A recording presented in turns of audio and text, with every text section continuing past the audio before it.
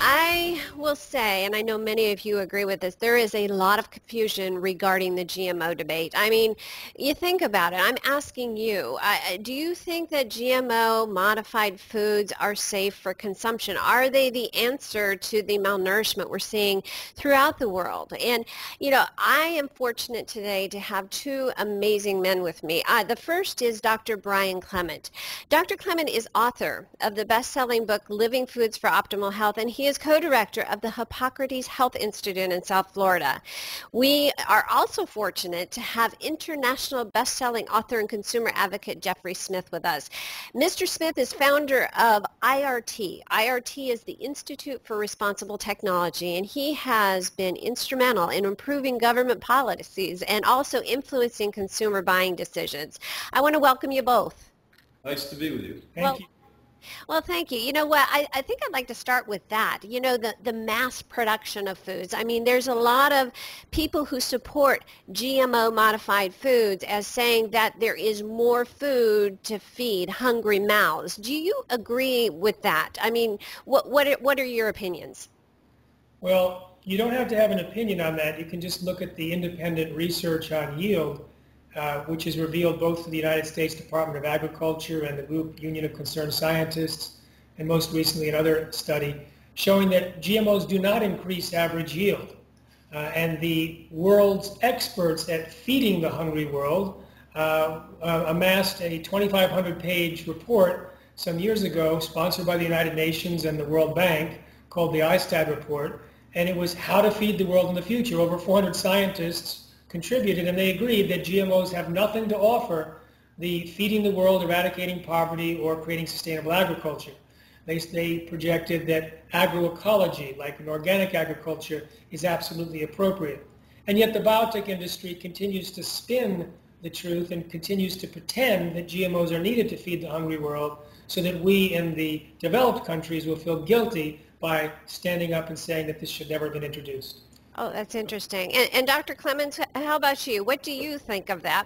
You know, it's funny because I was on the line with a, a, person who was supporting GMOs, and he was talking about the quality of the soil and erosion and the, the fact that they, they could grow more products and feed more people. I understand, uh, Mr. Smith, what you're talking about. Uh, uh Dr. Clements, what do you think? Well, I think uh, that the data is the data Yes. Science is science. And I think that somebody that would advocate the use of GMOs, which I see in my daily work to be a health destroyer, and we can absolutely name diseases that didn't exist until people started to create a, a liking for GMO foods. Uh, it's insane to think that. Right. Another way to look at this is, is we are paying farmers in the developed world not to grow food. So for us to have starvation, it's a political decision to have starvation.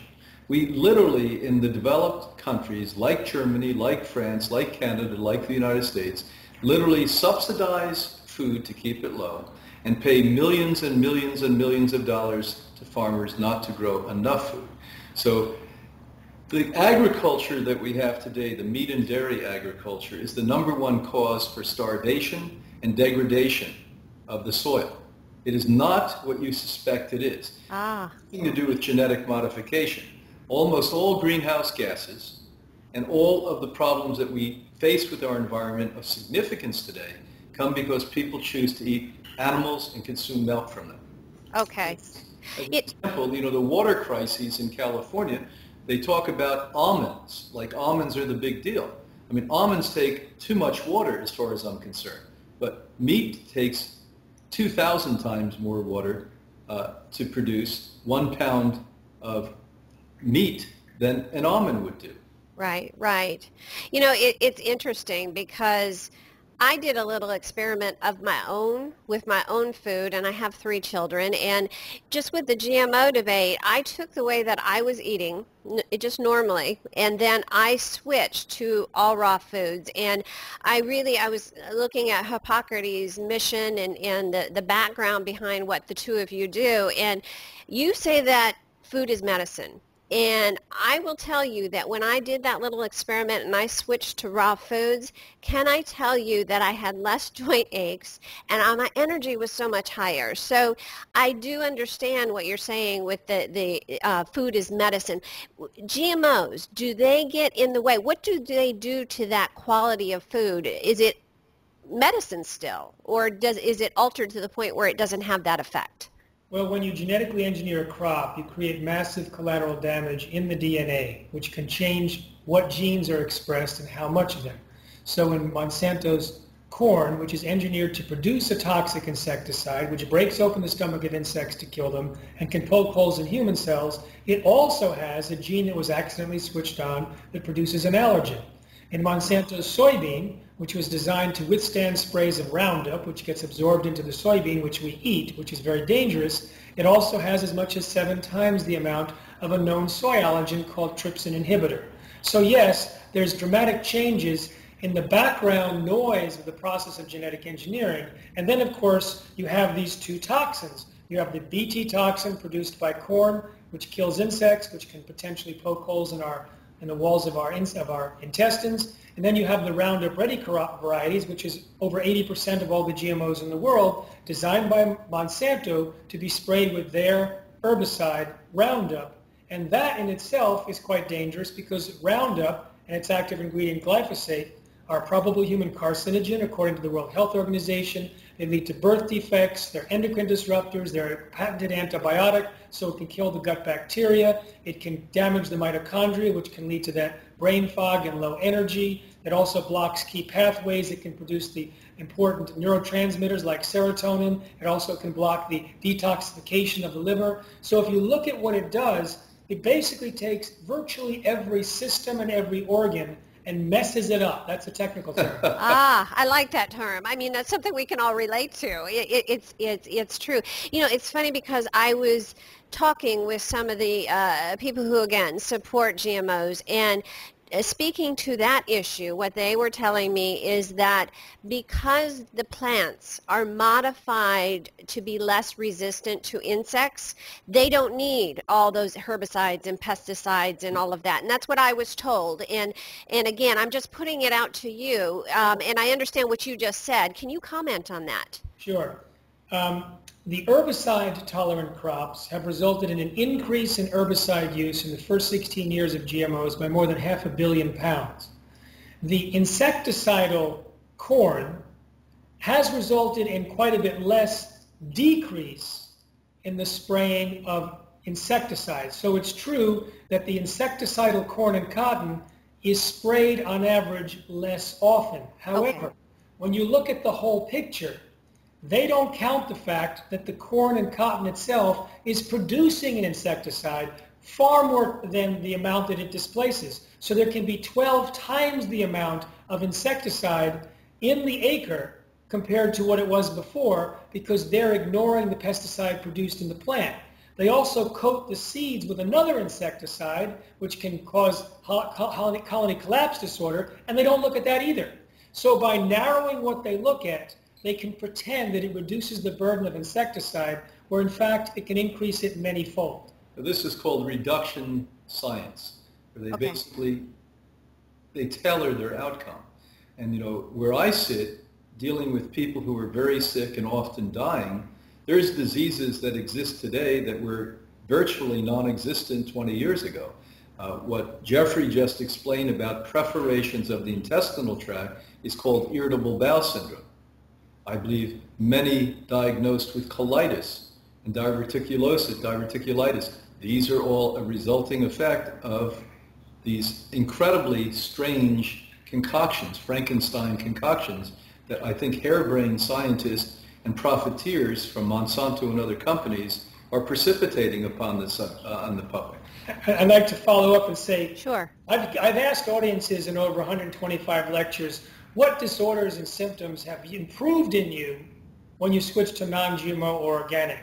And then I surveyed 3,600 people who all got better when they switched to non-GMO organic. And the number one in every lecture and in the survey is always gastrointestinal, including inflammatory bowel, irritable bowel, Crohn's disease, etc.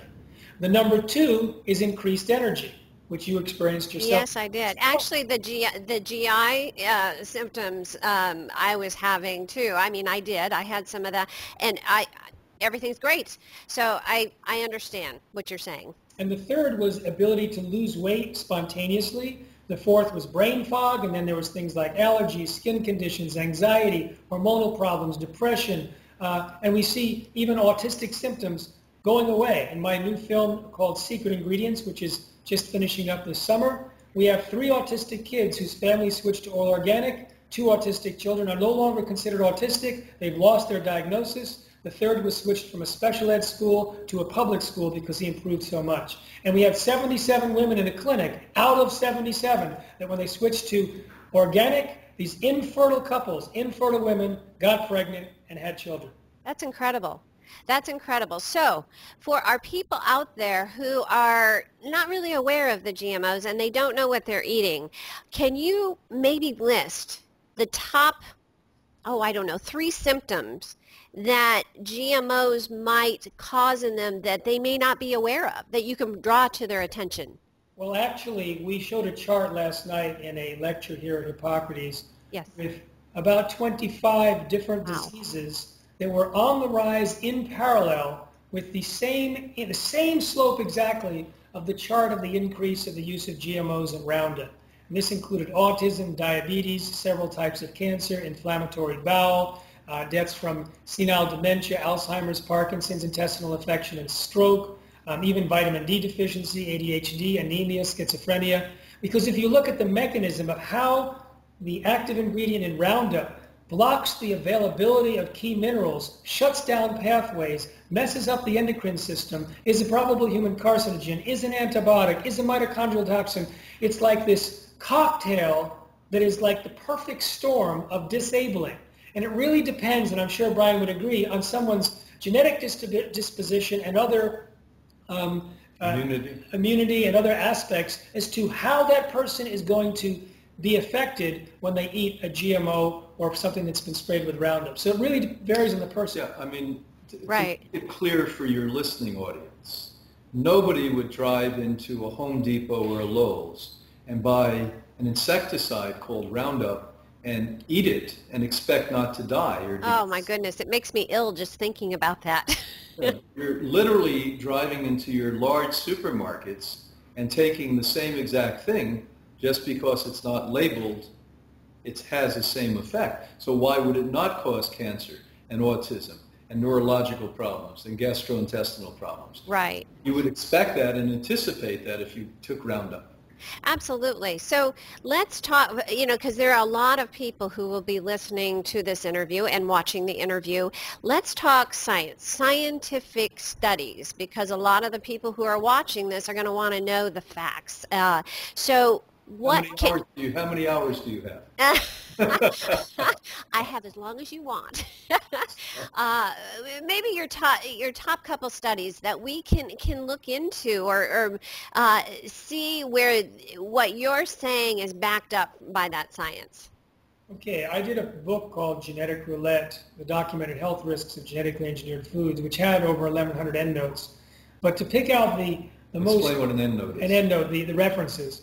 Um, studies. Studies. Um, so I, I would say there was a there was a group in France led by Dr. Seralini, and they looked at 19 animal feeding studies on GMOs and found signs of toxicity in the liver and kidneys in all of those studies. They took one of the studies from Monsanto uh, with their Roundup Ready corn, designed to be sprayed with Roundup, fed it to rats. Monsanto stops after 90 days and pretends that nothing happened to the rats, even though Seralini's team reanalyzed the raw data and found more than 50 parameters that were statistically significantly different. And he extended that study to the lifetime of a rat for two years. The next 30-day period, they started to get tumors. And by the end of the two years, those that were fed the GMOs had multiple massive tumors, early death, organ damage, and hormonal problems. Now, he also took a group and fed them the Roundup Ready corn that had never been sprayed with Roundup, they had the same problem. Right. He fed another group the Roundup in the drinking water without the corn, they had the same problems. So whether it was Roundup alone, the corn alone, or how it's normally eaten, the two in combination, it was multiple massive tumors, early death, and organ damage. A follow-up study looked at the tissues of the liver and kidneys that were of these animals that were fed tiny amounts of Roundup, 14,000 times lower than the amount allowed in U.S. drinking water by the EPA, and found clear evidence that the liver and kidneys were damaged because of the Roundup. So this is not, mm-hmm. this is hard science. Now, if you look at the biotech industry, and part of my last book has 41 pages demonstrating how they use tobacco science. They rig their research to avoid finding problems. And if they find problems, they explain it away with completely unscientific excuses that just cause other independent scientists to pull their hair out and say, this isn't science. So what I've been doing for 20 years is interviewing scientists and translating it into English, both in terms of the evidence of harm and the devious ways that the biotech industry keeps their their data hidden and keeps their conclusions false. That is interesting. So, so let me ask you, out of all those studies, so that's fascinating to me. Is there, to your knowledge, any has it been analyzed? Is there any communities or societies in the world who are not affected by the GMOs and compare that to the disease rates, for example, in the United States versus those communities? You know, I've asked the people doing these epidemiological studies just that same question. Really? Okay. Question. And I said, what about Europe? And they said, no, because they use animal feed that's genetically engineered, and the Roundup active ingredient glyphosate ends up in their food supply, and they confirm that because in urine tests, even city dwellers in Europe have Roundup in their urine. Well, I, let's slow that down so they understand. In Europe, they've made a conscious decision in all the countries not to buy genetically modified food from the United States. Okay. What Jeffrey's saying is it's snuck in anyway because we feed the overwhelming amount of grains not to humans but to animals. And okay. that's what sneaks in. Now, interesting, Russia and Putin of all people is now discussing having a Roundup-free, GMO-free country. Wow, that's interesting, isn't it? Exactly yeah. what's happening everywhere else. They right. ban planting of GMOs and are making it a, a, strong penalty if you plant GMOs, and they're banning the imports of some products that are contain GMOs as well. Right, right. Well, that actually brings up another question, and I'm almost afraid to ask it. but let's switch gears to politics. Uh, now, are the are the dangers of GMOs open for everyone to view, or are they being I don't know, almost covered over with a rug. I mean, so that we're we're not seeing what they truly are. Whitewash, whitewash, not whitewash. The rug. Yes. It's actually worse. I mean, covered over is one thing, but it's actual deception. Yeah. It's what? I'm sorry. Buried. So, oh, so okay. let me explain. I'll give you a perfect example. Um, the FDA's policy is that since GMOs are not really different than non-GMOs, not a single safety study is necessary, no labeling is necessary, and companies like Monsanto, the big GMO company, can determine on their own whether their GMOs are safe without even telling the government or the, or the consumer, even though Monsanto was, was caught lying about the safety of other products in the past. Now that policy was created by Michael Taylor in the 19, early 1990s, 1992, when, as he was the director of policy for the FDA. That position was created for him specifically because the White House told the FDA to promote GMOs, and Michael Taylor was Monsanto's former attorney. So he went from Monsanto's law firm, became in charge of policy at the FDA, allowed them on their market without any safety studies, then became Monsanto's vice president. Now he's back at the FDA as the U.S. food czar. Okay. Nine years or seven years later, a lawsuit forced the FDA to reveal 44,000 secret internal memos, and then we discovered the fraud. The overwhelming consensus among the scientists working at the FDA was exactly the opposite as Taylor's policy. Oh, that's interesting. They, they said GMOs are different and dangerous and can lead to allergens, toxins, new diseases, and nutritional problems, and that they should be tested carefully and there should be human testing. Now, that kind of infiltration and deception, as I've traveled to 42 countries speaking about GMOs, I see it in many countries where they take over a ministry or they take over a committee, an approval committee with the majority. And it's amazing when I speak to the minority, it's just they pull their hair out and say, I can't believe it. These people rubber stamp every application for GMOs. They never even read the adverse findings. They dismiss it offhand. And this is very, very serious and dangerous. You know, as a consumer, that makes me angry because my children and myself, obviously, are eating this. We have a right to know, don't you think? Oh, yes. You, you said the word consumer, and so let's even make you more angry, listeners more angry. Uh, so that you know there is a multi-million dollar campaign to prevent Americans in this so-called free great nation that we live in from knowing that genetic modified elements are in your food. Vermont passed a law and there was a major campaign by the GMO industry to shut it down, to actually say when you vote, when people in the United States vote in a state like Vermont and decide that you want every single product marked if it has genetic modification in it or not, they wanted to say you can't do that. And they tried to pass a law on two occasions now that literally made that against the law Oh. American citizens to basically say, we request to know what's in food. Whereby Right. you have to put how much nutrition or sugar or fats in the food, but not genetic modification. We were lucky because Hippocrates uh, saw this coming 10 years ago. We've hired lobbyists. We've had lobbyists in Washington for a decade now. And we're very fortunate because our lobbyist, Beth Clay, was a woman who w- wrote the DSHEA Act in the 1990s to protect Americans' rights for supplementation. So she's a major advocate, a major believer like you are in understanding, and I hope the listeners are there today. And we single-handedly pretty much stopped them from winning, but we only won by one vote. One vote. Ah, one vote. That's Yes, it. When we're, and that's in the Senate. So when we're sleeping one night uh, around Christmas, they'll probably try to railroad this thing through again. Then we'll lose the right in America, the free country of America, as we call it, uh, to know what we're eating. You know what? That's not right. And you, you know, um, Let's say what it is. This is criminal activity by sleazy people. well, here's the thing. And I, I was on Hippocrates' website, and, and your, your tagline is, is you're helping people help themselves. Am I right? And um, that, what you're just saying, prevents us from helping ourselves. We, we, we can't do that. And I, that's, eh, they can't take that right away. When you sit in my office and have to deal with three-year-old children with brain cancer hmm. and children who can't eat because they're nauseous and they're bleeding from the intestinal tract, and you know well and good that there's a very, very large possibility it's because of what we're discussing today, yes. it, it angers me. But my anger comes out in productivity and in action. And we must change the education. The man sitting next to me, I'm convinced he, along with his allies, are going to reverse this entire issue. I'm positive that in America we are going to get to a point where the masses, already it's more than half the population, are going to say no to this insanity. So we're not the only thinking people, and I think at the end of the day, the great people in the United States and Canada and all over the world are going to wake up and see what has happened to them. And by the way, your government's in bed with the devil.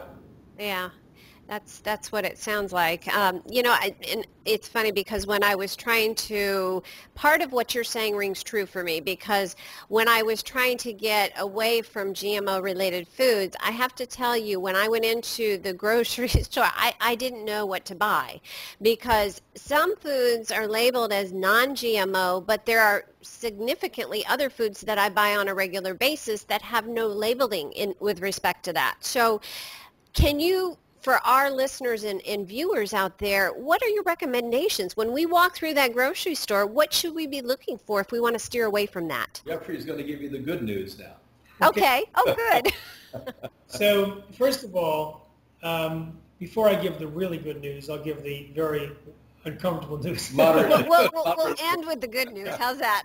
And that is, and that is, you see, Roundup is not only sprayed on Roundup Ready crops, it's also sprayed on many other crops as a ripening agent just before harvest, so it gets into the food supply. It gets sprayed on wheat, barley, rye, rice, potatoes, sweet potatoes, sugar cane, sunflower, kiwi, grapes, etc. And so if you want to avoid Roundup, and we strongly recommend it, then non-GMO is not good enough. It's better to go Ah, okay. organic. Now, organic does not allow the intentional use of GMOs. Of course, there could be contamination from time to time, but organic would be the way to go. So I would suggest for you two things. One, look at your brands, and if it's not organic, switch to organic. And the second thing is take a journal, take notes, and find and, and write down your energy level, your mood, your behavior, your health conditions, your sleep situation, and watch what happens over a week, second week, third week. If it's like many people that I talk to by the thousands, you will see amazing differences that will be worth the extra effort and expense to switch to organic. Now, if you can't get organic, at least get non-GMO. If you go to non-GMOshoppingguide.com, you'll see the tens of thousands of products that have been verified by the non-GMO Say project. that again. Non-GMO. Shoppingguide.com. Okay, that's a that's a great resource. So if you go there, it'll help.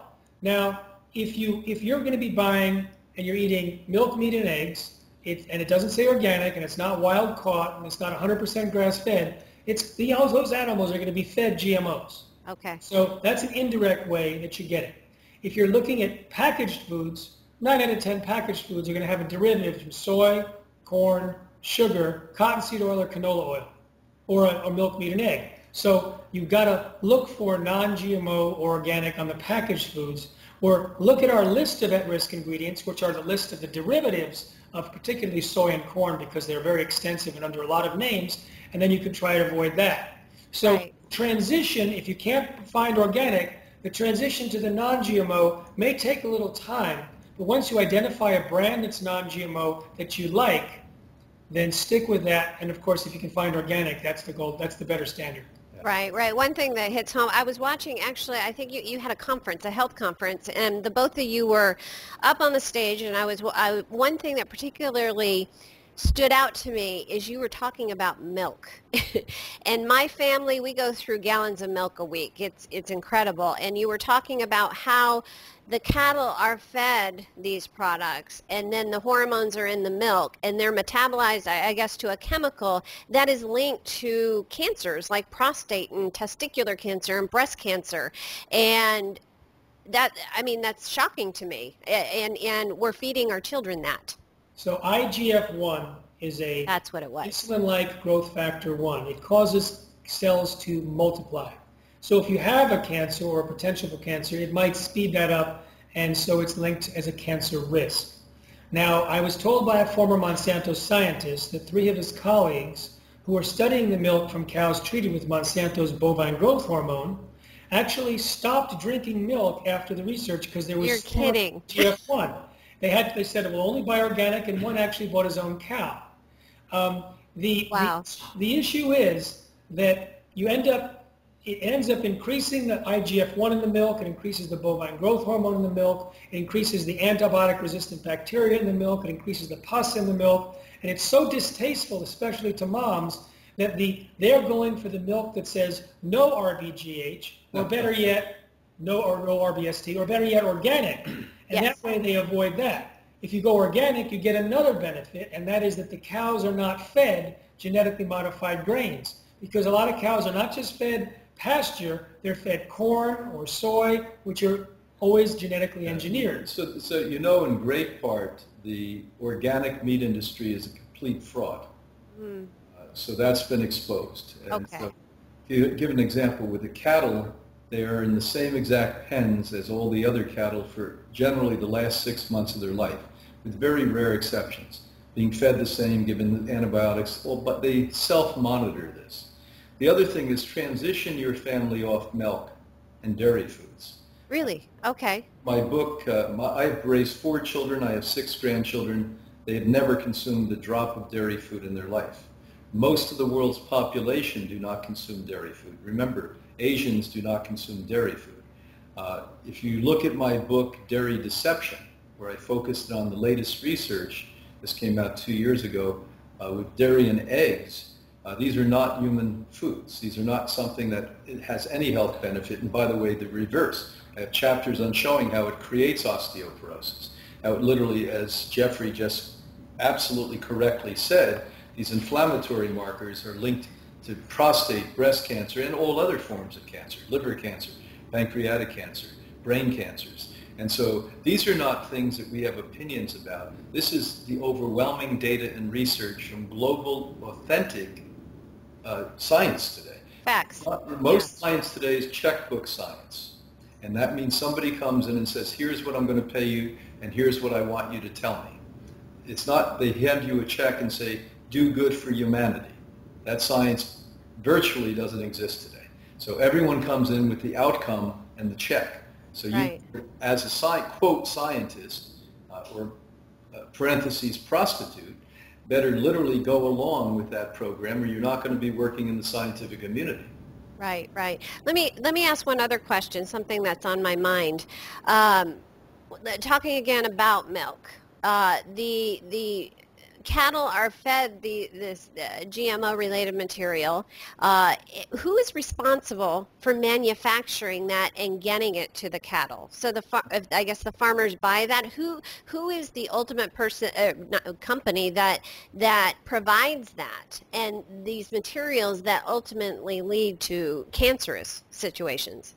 Well, in terms of the food, the animal feed. Uh, Monsanto, Dow, DuPont, Bayer, Syngenta, these are the five major GMO companies that's, that now own 60% or more of the seed supply. Okay. For, for soy, corn, cotton, canola, et cetera, the main GMOs, they own vast, far more than that. And so they have gotten 90 to 95% of all of the acreage in those crops genetically engineered. So if you're going to be, if you're a farmer and you're raising uh, dairy cows and you're going to be bringing in corn, you just get corn from the market and 95% of that corn will be genetically engineered. If you want to get the bovine growth hormone, that was sold by Monsanto to Elanco, Eli Lilly's veterinarian division, and you can get that from them, although most American dairies have stopped using it because consumers have said no. Uh, now, what's interesting is that Roundup is sprayed on most of this animal feed, Roundup blocks the absorption of minerals. And so you have mineral deficient grains, you have mineral deficient animals. When you have mineral deficient animals, they are sick, they are damaged. And so what they produce in terms of milk and meat is also damaged. Oh. They, they, die younger, there's a lot of infertility. We talked to a lot of veterinarians who are doing the laboratory tests confirming this. Yeah, a, a, a steer in nature, a cow in nature, used to last almost 20 years. Wow, okay. Yeah, two and a half to three years. It's an exception. So they've shortened the lifespan by nine times or ten times. That's incredible. It, one thing too, you mentioned Eli Lilly. Uh, don't they manufacture, uh, I guess, anti-breast cancer drugs? Yes, there's a campaign called "Is Eli Lilly Milking Cancer?" oh. they sell genetically engineered bovine growth hormone, which increases IGF-1 in the milk, a major study showed that there's a sevenfold increase in the risk of breast cancer with high levels of women with high levels of IGF-1. Say that again, loud and clear. All right. so it's a beautiful milking cancer. It's a beautiful, beautiful market. Wow. Okay. No, I, I understand. You got it. Okay. All right. Well, for our viewers out there, if they want to learn more about what we're talking about today, or even to contact you all, attend your lectures, where, where can you direct them? Well, we'll start with the Hippocrates Institute website, and we're the oldest uh, complementary health center on the planet. This is our 60th anniversary, and people come here from all over the world, and many have disease, and many are smart, like Jeffrey, who comes here to prevent disease and premature aging. So you can get a hold of us at Hippocrates, H-I-P-P-O-C-R-A-T-E-S, H-I-P-P-O-C-R-A-T-E-S, Institute, I-N-S-T-I-T-U-T-E dot org. We're a nonprofit. So HippocratesInstitute.org. And you can look up, you know, decades of magazines and uh, research that we've done uh, since 1956. And you can come and join us here. And we have ongoing uh, information and data. For instance, last night our community got to hear Jeffrey and you can also hear more about us on the realtruthabouthealth.com. Perfect. Okay. Health.com. And um, I founded the Institute for Responsible Technology 13 years ago, and you can check out our website at responsibletechnology.org. We have a newsletter, speaker training, activist groups around the country, uh, lots of information there. You can also uh, eat healthier by going to to watch the trailer of the movie that's going to be released sometime soon. Go to secretingredientsmovie.com and to watch the last movie that we released that's the most popular movie on GMOs in the world. It's called Genetic Roulette, The Gamble of Our Lives. Go to geneticroulettemovie.com. So responsibletechnology.org, non-GMOshoppingguide.com, secretingredientsmovie.com, geneticroulettemovie.com. And before we leave, I want Jeffrey to give the latest statistics so that you're all optimistic. Okay. Oh, yeah, yeah, the We- good We're going to news. get rid of The good news. GMOs. So two weeks ago, well, let me give the background. Okay. There was enough coverage on the dangers of GMOs in Europe because of a food safety scandal and the gag order was lifted on scientists back in 1999. The food companies said no more GMOs in Europe because the consumers didn't want them. But the same companies like Nestle's and Unilever and Burger King and whatever, they removed GMOs in Europe, continued to sell it to unsuspecting Americans who had never heard of it. Then we started educating people, first about bovine growth hormone. That was kicked out of most dairies around 2008. Then the natural products industry consumers, they kicked it out of the natural products industry, GMOs, in 2013. Now we have Nestle's and, and General Mills and Post and, and Campbell's and Del Monte removing GMOs from some or all of their products, Hershey's.